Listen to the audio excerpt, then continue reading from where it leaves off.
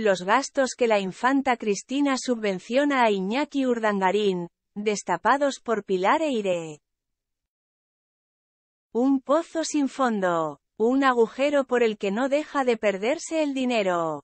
Lejos de darle tranquilidad y espacio para encontrar el equilibrio, la infanta Cristina, 57 años, está afrontando los meses previos a la firma de divorcio de Iñaki Urdangarín, 55 años, con cierta tensión, pero sobre todo con un desembolso económico significativo.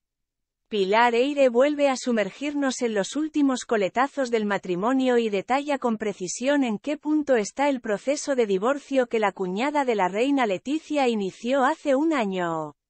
Un doloroso paso adelante precipitado por aquellas impactantes fotos del exduque de Palma con Ainhoa Armentia, 44 años, y publicadas por la revista Lecturas. En su blog No es por maldad, la periodista despeja una de las mayores incógnitas alrededor de Iñaki Urdangarín. ¿Cómo puede permitirse el tren de vida elevado que mantiene? El elevado tren de vida de Urdangarín al que se apunta Ainhoa Armentia. Recientemente, se dejaba ver feliz celebrando San Valentín con su novia en La Pleta, el refugio de la familia real en Baqueira Beret. Vacaciones en Formentera, viajes a Ginebra a ver a sus hijos.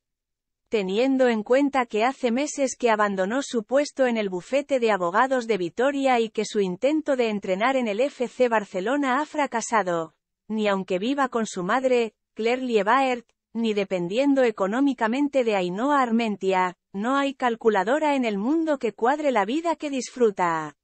Y mucho menos puede afrontar hacerse cargo de los gastos de sus cuatro hijos.